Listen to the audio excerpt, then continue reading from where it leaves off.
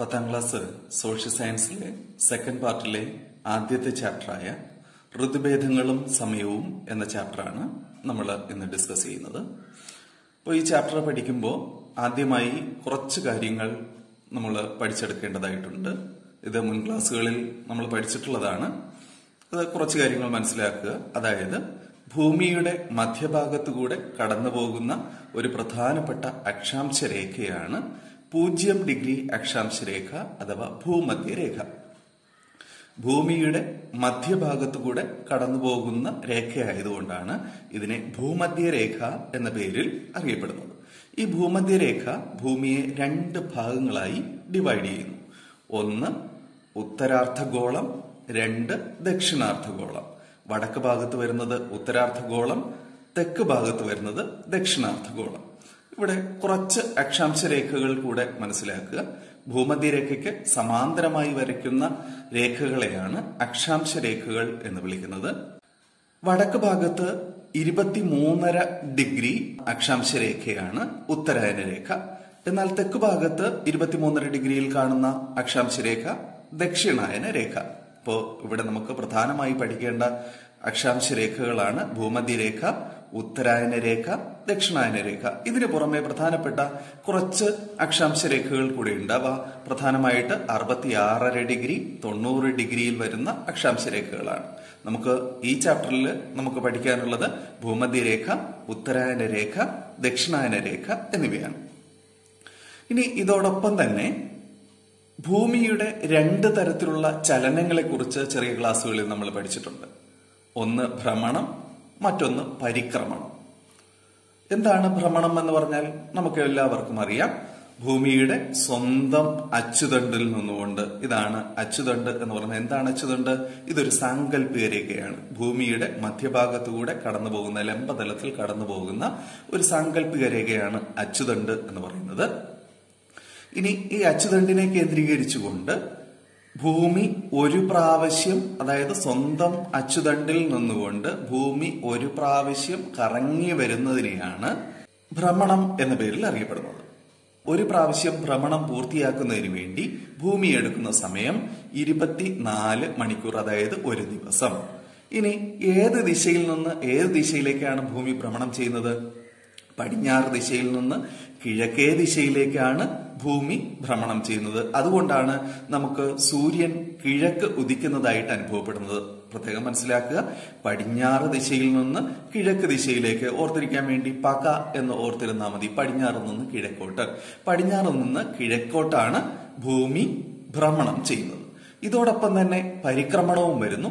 പരിക്രമണം ഭൂമി ഒരു ദീർഘ വൃത്താകൃതിയിലുള്ള സഞ്ചാരപഥത്തിലൂടെയാണ് പരിക്രമണം ചെയ്യുന്നത്. ഒരു പ്രാവശ്യം പരിക്രമണം ചെയ്ത് എന്താണ് പരിക്രമണം എന്ന് പറഞ്ഞാൽ സൂര്യനെ ചുറ്റി ദീർഘവൃത്താകൃതിയിലുള്ള സഞ്ചാരപഥത്തിലൂടെ ഒരു പ്രാവശ്യം സൂര്യനെ ചുറ്റി വരുന്ന ആ പ്രക്രിയയാണ് പരിക്രമണം എന്ന പേരിൽ അറിയപ്പെടുന്നത്. ഒരു പരിക്രമണം ഒരു പ്രാവശ്യം പരിക്രമണം പൂർത്തിയാക്കുന്നതിന് വേണ്ടിയുള്ള സമയം മുന്നൂറ്റി അറുപത്തിയഞ്ച് ദിവസവും ആറ് മണിക്കൂറും അതായത് ഒരു വർഷം. മുന്നൂറ്റി അറുപത്തിയഞ്ച് ദിവസവും ആറ് മണിക്കൂറുമാണ് ഒരു പ്രാവശ്യം പരിക്രമണത്തിനായി എടുക്കുന്ന സമയം. ഇനി ഈ ദീർഘവൃത്താകൃതിയിലുള്ള സഞ്ചാരപഥത്തിലൂടെ സഞ്ചരിക്കുമ്പോൾ ഒരു നിശ്ചിത സമയത്ത് ഭൂമി സൂര്യനോട് ഏറ്റവും അടുത്തെത്തുകയും ഈ സമയത്തെ സൂര്യ സമീപകമെന്നും ഇനി സൂര്യനിൽ നിന്ന് ഏറ്റവും അകന്ന് ഭൂമി കാണുന്ന ആ പോയിന്റിനെ സൂര്യോച്ചം എന്ന പേരിലും അറിയപ്പെടുന്നു. അതായത് സൂര്യന് അടുത്ത് വരുന്നത് സൂര്യന് സമീപത്ത് വരുന്നത് സൂര്യ സമീപകം സൂര്യന് അകന്ന് ഏറ്റവും അകന്ന് കാണുന്നത് സൂര്യോച്ചം എന്ന പേരിൽ അറിയപ്പെടുന്നു. നമ്മൾ നേരത്തെ പഠിച്ചു ഭൂമിയുടെ അച്ചുതണ്ടിൽ നിന്നുകൊണ്ടാണ് ഭൂമി ഭ്രമണം ചെയ്തു വരുന്നത്. ഈ അച്ചുതണ്ടിന് ഒരു ചെറിയ ചരിവുണ്ട്. അപ്പോ ഇവിടെ ശ്രദ്ധിച്ചാൽ ഇതിനെ പരിക്രമണ തലമെന്നും ഇതിന് ലംബതലം എന്നും വിളിക്കാറുണ്ട്. അതായത് ഇത് പരിക്രമണ തലം ഇത് ലംബതലം. ഇനി ഭൂമിയുടെ അച്ചുതണ്ടിന് ഒരു ചെറിയ ചരിവുണ്ട്. ഈ ചരിവ് എത്രത്തോളമാണുള്ളത്? ഈ പരിക്രമണ തലത്തിൽ നിന്ന് അറുപത്തിയാറര ഡിഗ്രിയും ലംബതലത്തിൽ നിന്ന് ഇരുപത്തിമൂന്നര ഡിഗ്രിയും ലംബതലം ഇത് ഇരുപത്തി മൂന്നര ഡിഗ്രി ഇരുപത്തി മൂന്ന് പോയിന്റ് അഞ്ച് ഡിഗ്രി. ഇനി ഇത് പരിക്രമണ തലം പരിക്രമണ തലത്തിൽ നിന്ന് അറുപത്തി ആറര ഡിഗ്രി. ഇപ്പോൾ ഇരുപത്തിമൂന്നരയും അറുപത്തിയാറരയും തൊണ്ണൂറ് ഡിഗ്രി ഇത് തൊണ്ണൂറ് ഡിഗ്രി ആംഗിൾ ആണ്. അപ്പോൾ തൊണ്ണൂറ് ഡിഗ്രി കോണാണ്. അപ്പോൾ അതിൽ ലംബതലത്തിൽ നിന്ന് ഇരുപത്തി മൂന്നര ഡിഗ്രി ചരിവാണ് ഉള്ളതെന്ന് മനസ്സിലാക്കി വെക്കുക. ഭൂമിയുടെ അച്ചുതണ്ടിന്റെ ചരിവ് ലംബതലത്തിൽ നിന്ന് ഇരുപത്തിമൂന്നര ഡിഗ്രി. ഇനി ഈ ഭ്രമണം ചെയ്യുന്ന സമയത്തും പരിക്രമണം ചെയ്യുന്ന സമയത്തും എല്ലാം ഈ അച്ചുതണ്ടിന്റെ ചരിവ് ഇത് സ്ഥിരമായി നിലനിർത്തുന്നു. ഒരുപോലെ നിലനിർത്തുന്നു. അതിനെയാണ് അച്ചുതണ്ടിന്റെ സമാന്തരത എന്ന പേരിൽ അറിയപ്പെടുന്നത്. പരിക്രമണ വേളയിലുടനീളം ഭൂമി അച്ചുതണ്ടിന്റെ ചരിവ് നിലനിർത്തുന്നു. ഇതാണ് ഭൂമിയുടെ അച്ചുതണ്ടിന്റെ സമാന്തരത എന്ന പേരിൽ അറിയപ്പെടുന്നത്. ഇനി അടുത്ത് നമുക്ക് നോക്കാനുള്ളത് സൂര്യന്റെ അയനത്തെ കുറിച്ചാണ് ഈ അച്ചുതണ്ടിന്റെ ചരിവ് പരിക്രമണ വേളയിൽ ഉടനീളം നിലനിർത്തുന്നതിനാൽ ഭൂമിക്ക് ആപേക്ഷികമായി സൂര്യന്റെ സ്ഥാനത്തിൽ മാറ്റമുണ്ടാകുന്നു അതായത് ഭൂമിയിൽ സൂര്യന്റെ കിരണങ്ങൾ ലംബമായി പതിക്കുന്നതിൽ മാറ്റമുണ്ടാകുന്നു. ഇതിനെയാണ് സൂര്യന്റെ അയനം എന്നറിയപ്പെടുന്നത്. സൂര്യന്റെ രശ്മികൾ ഉത്തരായന രേഖയ്ക്കും ദക്ഷിണായന രേഖയ്ക്കും ഇടയിൽ ആപേക്ഷികമായ സ്ഥാനമാറ്റം ഉണ്ടാകുന്നു. ഇതിനെ സൂര്യന്റെ അയനം എന്ന് വിളിക്കുന്നു. എന്താണ് ഈ ആപേക്ഷികമായ സ്ഥാനമാറ്റം എന്ന് പറയുന്നത്? ഇവിടെ സൂര്യൻ നിൽക്കുന്നു. സൂര്യന്റെ കിരണങ്ങൾ ഈ ഭാഗത്തു നിന്ന് ഇങ്ങോട്ട് അതായത് പടിഞ്ഞാറ് ഭാഗത്തു നിന്ന് ഇങ്ങോട്ട് വരുന്നു എന്ന് കരുതുക. ഭൂമിയുടെ അച്ചുതണ്ടിന്റെ ചരിവ് ഇങ്ങനെയുണ്ട്. ഈ പൊസിഷനിലാണുള്ളത്. ഇവിടെ ഏറ്റവും കൂടുതൽ സൂര്യപ്രകാശം ലഭിക്കുന്നത് ഉത്തരാർദ്ധഗോളത്തിലായിരിക്കും. നമ്മൾ നേരത്തെ പഠിച്ചു. ഭൂമധ്യരേഖ ഇതാണ്. ഭൂമധ്യരേഖയ്ക്ക് വടക്കു വശത്തുള്ളത് ഉത്തരാർദ്ധഗോളമാണ്. ഈ ഉത്തരാർദ്ധഗോളത്തിലായിരിക്കും ഏറ്റവും കൂടുതൽ സൂര്യപ്രകാശം ലഭിക്കുന്നത്.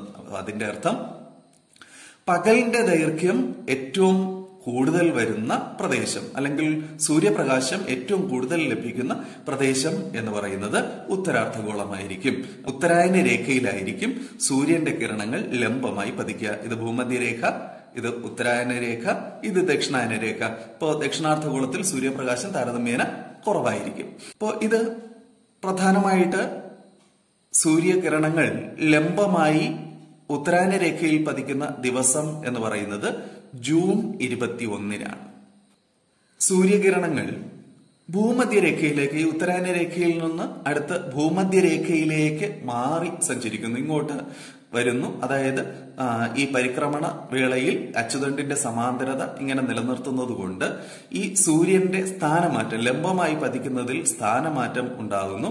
ഇത് സെപ്റ്റംബർ ഇരുപത്തി മൂന്ന് ആകുമ്പോഴേക്കും ഇത് ഭൂമധ്യരേഖയിലേക്ക് പതിക്കുന്നു. സെപ്റ്റംബർ ഇരുപത്തി മൂന്ന് സെപ്റ്റംബർ ഇരുപത്തി മൂന്ന്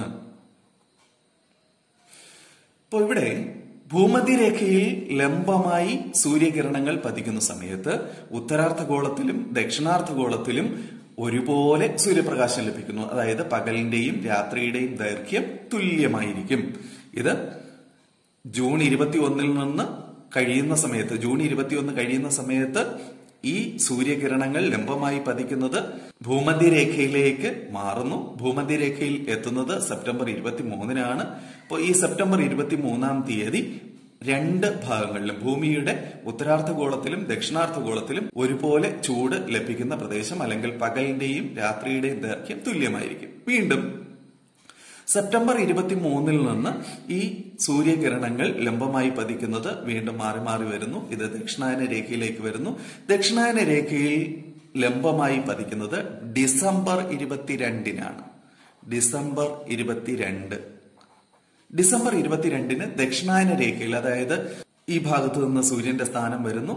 അപ്പോ ഇവിടെ സൂര്യന്റെ കിരണങ്ങൾ നേരിട്ട് ലംബമായി പതിക്കുന്നത് ഈ ഉത്തരായന രേഖയിലാണ്. അതുകൊണ്ട് ദക്ഷിണാർദ്ധഗോളത്തിൽ ചൂട് കൂടുതലും ഉത്തരാർദ്ധഗോളത്തിൽ ചൂട് കുറവുമായിരിക്കും. അതിനർത്ഥം ഇവിടെ പകലിന്റെ ദൈർഘ്യം കൂടുതലും ഇവിടെ പകലിന്റെ ദൈർഘ്യം കുറവുമായിരിക്കും. ഉത്തരാർദ്ധഗോളത്തിൽ പകലിന്റെ ദൈർഘ്യം കുറവ് ദക്ഷിണാർദ്ധഗോളത്തിൽ പകലിന്റെ ദൈർഘ്യം കൂടുതൽ. ഇനി ഡിസംബറിൽ നിന്ന് വീണ്ടും ഇത് ലംബമായി പതിക്കുന്ന സൂര്യകിരണങ്ങൾ ലംബമായി പതിക്കുന്നത് വീണ്ടും മാറി. അടുത്ത മാർച്ച് ഇരുപത്തി ഒന്നാവുമ്പോഴേക്കും മാർച്ച് ഇരുപത്തി ഒന്ന്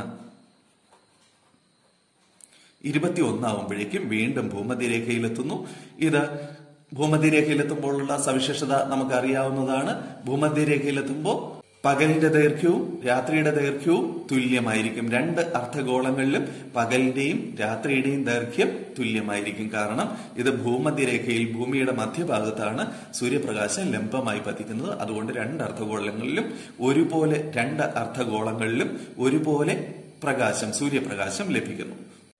നിങ്ങൾ ഇവിടെ ശ്രദ്ധിക്കുക ഇതൊരു ചാക്രിക സ്വഭാവമുള്ള ഒരു പ്രവർത്തനമാണിത്. അതായത് മാർച്ചിൽ നിന്ന് ജൂൺ ഇരുപത്തി ഒന്നാവുമ്പോഴേക്കും സൂര്യരശ്മികൾ ലംബമായി പതിക്കുന്ന ഉത്തരായന രേഖയിലേക്ക് മാറുന്നു. വീണ്ടും സെപ്റ്റംബർ ഇരുപത്തിമൂന്നിന് ഭൂമധ്യരേഖയിൽ പതിക്കുന്നു.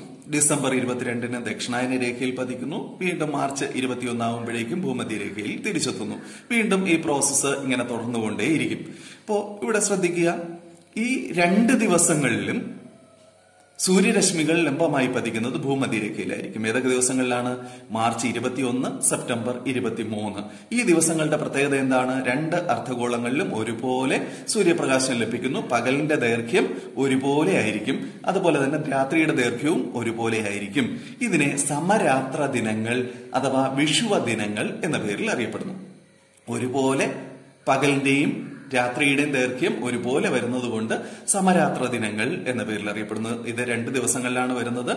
മാർച്ച് ഇരുപത്തി ഒന്ന് സെപ്റ്റംബർ ഇരുപത്തി മൂന്ന് ഉത്തരായന രേഖയിൽ സൂര്യരശ്മികൾ ലംബമായി പതിക്കുന്നത് ജൂൺ ഇരുപത്തി ഒന്നിനാണ് അതിനെ നമ്മൾ ഗ്രീഷ്മ അയനാന്തം എന്ന പേരിലാണ് അറിയപ്പെടുന്നത്. അതായത് ഉത്തരാർദ്ധഗോളത്തിൽ പകലിന്റെ ദൈർഘ്യം കൂടുതലായിരിക്കും രാത്രിയുടെ ദൈർഘ്യം താരതമ്യേന കുറവായിരിക്കും. ജൂൺ ഇരുപത്തി ഒന്നിനാണ് ഗ്രീഷ്മ അയനാന്തം എന്നറിയപ്പെടുന്നത്. ഇത് ഉത്തരാർദ്ധഗോളത്തിലാണ് അനുഭവപ്പെടുന്നത്.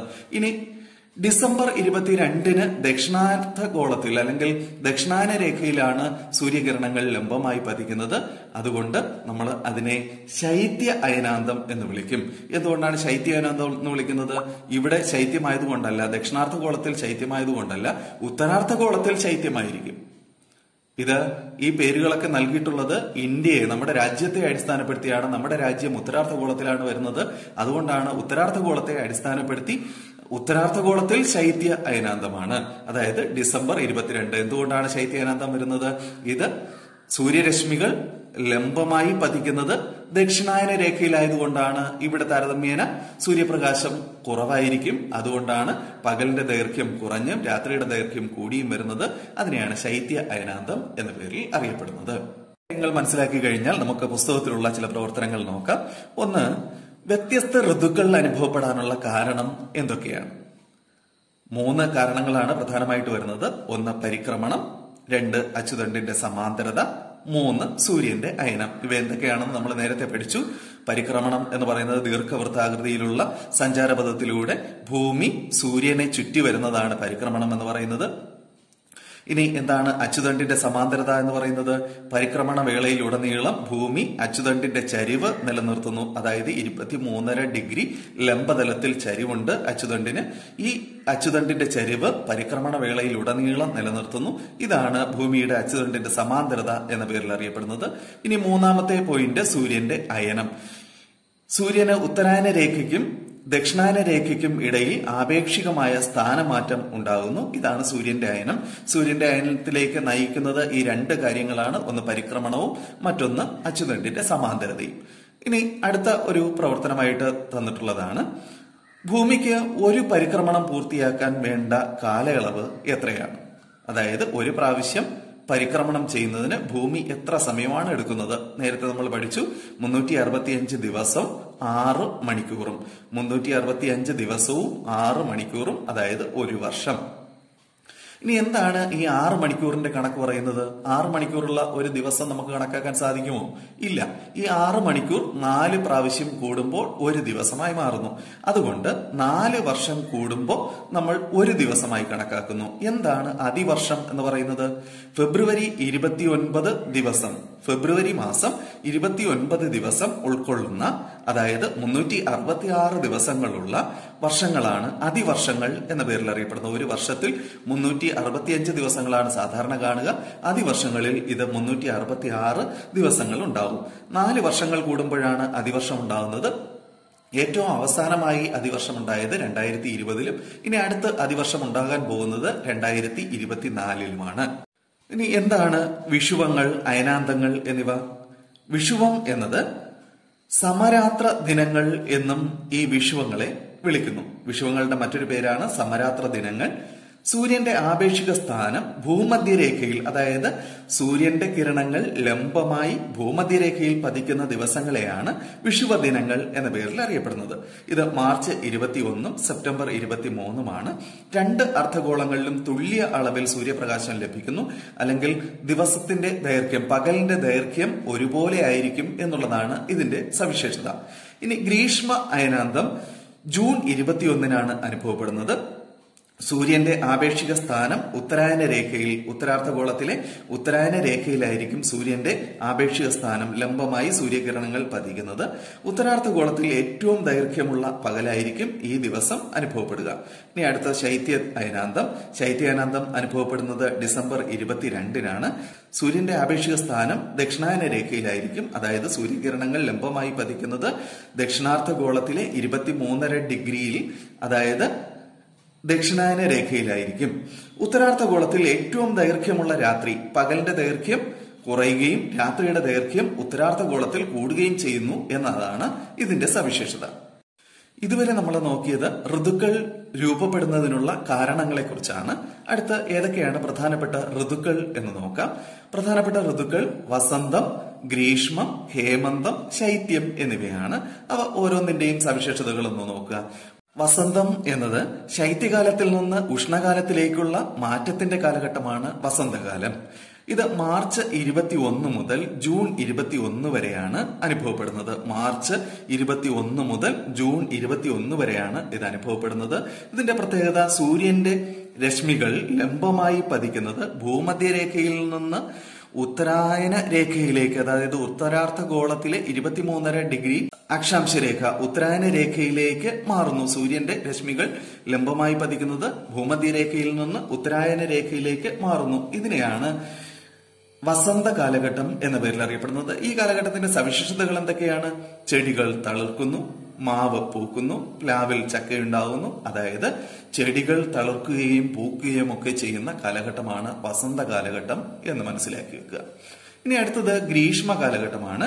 ഗ്രീഷ്മം ഇതിന്റെ തുടർച്ചയായി വരുന്നതാണ്. അതായത് ജൂൺ ഇരുപത്തി ഒന്ന് മുതൽ സെപ്റ്റംബർ ഇരുപത്തി മൂന്ന് വരെയാണ് ഗ്രീഷ്മ കാലഘട്ടം വരുന്നത്. അതായത് സൂര്യന്റെ ലംബമായിട്ടുള്ള സൂര്യകിരണങ്ങൾ ലംബമായി പതിക്കുന്നത് ജൂൺ ഇരുപത്തി ഒന്ന് ഉത്തരായന രേഖയിൽ നിന്ന് ഇത് ഭൂമധ്യരേഖയിലേക്ക് മാറുന്നു. ഈ സ്ഥാനമാറ്റം ഉണ്ടാകുന്നു ഈ കാലഘട്ടത്തിലാണ് ഗ്രീഷ്മ കാലഘട്ടം എന്ന പേരിൽ അറിയപ്പെടുന്നത്. ഇതിന്റെ പ്രത്യേകത ഉയർന്ന അന്തരീക്ഷ ഊഷ്മാവ് പൊടിക്കാറ്റ് എന്നിവ ഉണ്ടാകുന്നു എന്നിവയാണ്. ഇപ്പോ ഈ കാലഘട്ടത്തിൽ ഉത്തരാർദ്ധഗോളത്തിൽ വളരെ ഉയർന്ന ഊഷ്മാവ് ചൂട് അനുഭവപ്പെടുന്നു. അതോടൊപ്പം തന്നെ അതിന്റെ ഫലമായിട്ട് പൊടിക്കാറ്റ് എന്നിവ അനുഭവപ്പെടുന്നു. ഇനി അടുത്തത് നോക്കുക. ഹേമന്ത കാലഘട്ടമാണ്. ഇത് വേനലിൽ നിന്ന് ശൈത്യത്തിലേക്കുള്ള ഒരു മാറ്റത്തിന്റെ കാലഘട്ടമാണ് ഹേമന്തം എന്നറിയപ്പെടുന്നത്.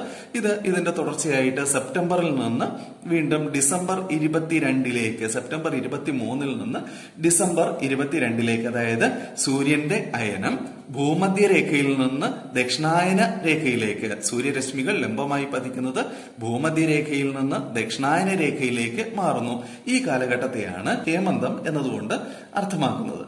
ഇതിന്റെ പ്രത്യേകത അന്തരീക്ഷ ഊഷ്മാവ് ഗണ്യമായി കുറയുന്നു. രാത്രിയുടെ ദൈർഘ്യം കൂടുന്നു. മരങ്ങൾ ഇല പൊഴിക്കുന്നു എന്നിവയാണ്. അപ്പോ ഈ ഹേമന്ത കാലഘട്ടത്തിന്റെ പ്രത്യേകതയാണ് മരങ്ങൾ ഇല പൊഴിക്കുന്നു രാത്രിയുടെ ദൈർഘ്യം കൂടുന്നു അതോടൊപ്പം തന്നെ അന്തരീക്ഷ ഊഷ്മാവ് ഗണ്യമായി കുറയുന്നു എന്നിവ. ഇനി അടുത്തത് ശൈത്യം എന്ന കാലഘട്ടമാണ്. ഇത് ഡിസംബർ ഇരുപത്തിരണ്ടിൽ നിന്ന് മാർച്ച് ഇരുപത്തി ഒന്നിലേക്കുള്ള മാറ്റം. അതായത് സൂര്യരശ്മികൾ ലംബമായി പതിക്കുന്നത് ദക്ഷിണായന രേഖയിൽ നിന്ന് ഭൂമധ്യരേഖയിലേക്ക് തിരിച്ചെത്തുന്ന കാലഘട്ടമാണ് ശൈത്യം എന്ന പേരിൽ അറിയപ്പെടുന്നത്. ഈ കാലഘട്ടത്തിന്റെ പ്രത്യേകതയാണ് അതിശൈത്യം. അതായത് വളരെ ശക്തമായ തണുപ്പ് അനുഭവപ്പെടുന്നു മഞ്ഞ് വീഴ്ച അനുഭവപ്പെടുന്നു. ഇവയൊക്കെയാണ് ഈ കാലഘട്ടത്തിന്റെ പ്രധാനപ്പെട്ട സവിശേഷതകൾ. അടുത്ത ഈ ഭാഗത്ത് രണ്ട് കാര്യങ്ങൾ കൂടെ നമുക്ക് ഡിസ്കസ് ചെയ്യാനുണ്ട്. ഒന്ന് ഉത്തരായനവും മറ്റൊന്ന് ദക്ഷിണായനവും. എന്താണ് ഉത്തരായനം എന്നതുകൊണ്ട് അർത്ഥമാക്കുക? സൂര്യന്റെ അയനം ദക്ഷിണായന രേഖയിൽ നിന്ന് ഉത്തരായന രേഖയിലേക്ക് മാറുന്നു. ഇതാണ് ദക്ഷിണായന രേഖ. ഈ രേഖയിൽ നിന്ന് ഉത്തരായന രേഖയിലേക്ക് മാറുന്നു. അതായത് ഡിസംബർ ഇരുപത്തിരണ്ട് മുതൽ സൂര്യകിരണങ്ങൾ ലംബമായി പതിക്കുന്നത് ദക്ഷിണായന രേഖയിൽ നിന്ന് ഉത്തരായന രേഖയിലേക്ക് മാറുന്നു. ഇപ്പൊ ഇതിനെയാണ് ഉത്തരായനം എന്ന പേരിൽ അറിയപ്പെടുന്നത്. അതായത് ദക്ഷിണായന രേഖയിൽ നിന്ന് ഉത്തരായന രേഖയിലേക്ക് സൂര്യരശ്മികൾ ലംബമായി പതിക്കുന്നത് അതിന്റെ സ്ഥാനമാറ്റം മാറിക്കൊണ്ടിരിക്കുന്ന കാലഘട്ടത്തെയാണ് ഉത്തരായനം എന്നറിയപ്പെടുന്നത് ഇത് ഡിസംബർ ഇരുപത്തിരണ്ട് മുതൽ ജൂൺ ഇരുപത്തി ഒന്ന് വരെയാണ് ഇതിന്റെ സവിശേഷത. ഉത്തരാർദ്ധഗോളത്തിൽ പകലിന്റെ ദൈർഘ്യം കൂടി കൂടി വരുന്നു എന്നുള്ളതാണ്. ഇനി എന്താണ് ദക്ഷിണായനം എന്നുള്ളത്? ഇത് ജൂൺ ഇരുപത്തി ഒന്ന് മുതൽ ഡിസംബർ ഇരുപത്തിരണ്ട് വരെയാണ്. ജൂൺ ഇരുപത്തി ഒന്ന് മുതൽ ഡിസംബർ ഇരുപത്തിരണ്ട് വരെ സൂര്യരശ്മികൾ ലംബമായി പതിക്കുന്നത് ഉത്തരായന രേഖയിൽ നിന്ന് ദക്ഷിണായന രേഖയിലേക്ക് മാറുന്നു. അതായത് ഉത്തരഭാഗത്ത് നിന്ന് ദക്ഷിണ ഭാഗത്തേക്ക് വടക്ക് ഭാഗത്ത് നിന്ന് തെക്ക് ഭാഗത്തേക്ക് ഇത് മാറുന്നു. അതിനെയാണ് ദക്ഷിണായനം എന്ന പേരിൽ അറിയപ്പെടുന്നത്. ഇതിന്റെ സവിശേഷതയാണ് ഉത്തരാർദ്ധഗോളത്തിൽ പകലിന്റെ ദൈർഘ്യം കുറഞ്ഞു കുറഞ്ഞു വരുന്നു എന്നുള്ളതാണ് ഇതിന്റെ സവിശേഷത. ഇനി ഇത്രയും പഠിക്കുമ്പോൾ നമുക്കുണ്ടാകുന്ന സ്വാഭാവികമായിട്ടുള്ള ചില സംശയങ്ങളാണ്. കേരളത്തിൽ ഋതുവ്യത്യാസങ്ങൾ വ്യക്തമായി അനുഭവപ്പെടുന്നില്ല എന്തുകൊണ്ട്? കേരളം സമുദ്രതീരത്തിന് സമാന്തരമായി സ്ഥിതി ചെയ്യുന്ന ഒരു പ്രദേശമാണ്. അതുകൊണ്ട് തന്നെ കരക്കാറ്റ് കടൽക്കാറ്റ് എന്നിവയുടെ സ്വാധീനം കൊണ്ട് ഇവിടുത്തെ താപനില കൂടുകയോ അമിതമായി കൂടുകയോ കുറയുകയോ ചെയ്യാതെ നിൽക്കുന്നു. ഇനി കേരളത്തിന്റെ കിഴക്ക് ഭാഗത്ത് സ്ഥിതി ചെയ്യുന്ന പശ്ചിമഘട്ട മലനിരകൾ മിതമായ ഒരു കാലാവസ്ഥ നൽകുന്നതിൽ കേരളത്തെ സഹായിക്കുന്നു. അടുത്ത ഒരു സംശയമാണ്. ധ്രുവ പ്രദേശങ്ങളിൽ ഋതുക്കൾ അനുഭവപ്പെടാത്തതിന് കാരണം എന്താണ്?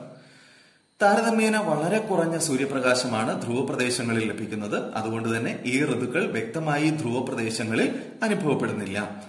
ഇനി ജൂൺ ഇരുപത്തിയൊന്നിന് ദക്ഷിണാർദ്ധഗോളത്തിൽ പകലിന്റെയും രാത്രിയുടെയും സവിശേഷതകൾ എന്തെല്ലാമാണ്? ഉത്തരാർദ്ധഗോളത്തിൽ നമ്മൾ പഠിച്ചു. പകലിന്റെ ദൈർഘ്യം കൂടുതലും രാത്രിയുടെ ദൈർഘ്യം കുറവുമായിരിക്കും. അങ്ങനെയാണെങ്കിൽ ദക്ഷിണാർദ്ധഗോളത്തിൽ അതിന്റെ സവിശേഷത എന്തൊക്കെയായിരിക്കും? ഇത് ശൈത്യകാലത്തിന്റെ ആരംഭമാണ്. അതായത് പകലിന്റെ ദൈർഘ്യം കുറവും രാത്രിയുടെ ദൈർഘ്യം കൂടുതലുമായിരിക്കും. നീണ്ട രാത്രിയും കുറഞ്ഞ പകലുമാണ്. ദക്ഷിണാർദ്ധഗോളത്തിൽ ജൂൺ ഇരുപത്തിയൊന്നിന് അനുഭവപ്പെടുക. ഭൂമിയുടെ അച്ചുതണ്ടിന് ചരിവില്ലായിരുന്നുവെങ്കിൽ രണ്ട് അർദ്ധഗോളങ്ങളിലും ഉഷ്ണകാലവും ശൈത്യകാലവും മാറി മാറി അനുഭവപ്പെടുമായിരുന്നോ? ഇല്ല.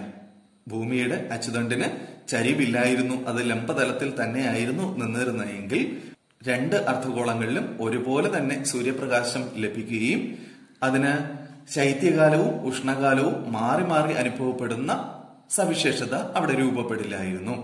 അപ്പോൾ ഇത് ഇത്രയുമാണ് നമുക്ക് ഈ ചാപ്റ്ററിന്റെ ഋതുഭേദങ്ങളും സമയവും എന്ന ചാപ്റ്ററിന്റെ ഫസ്റ്റ് പാർട്ടിലുള്ളത്. അടുത്ത ക്ലാസ്സിന് നമുക്ക് സമയം കണക്കാക്കുന്നതിനെ കുറിച്ച് പഠിക്കാം.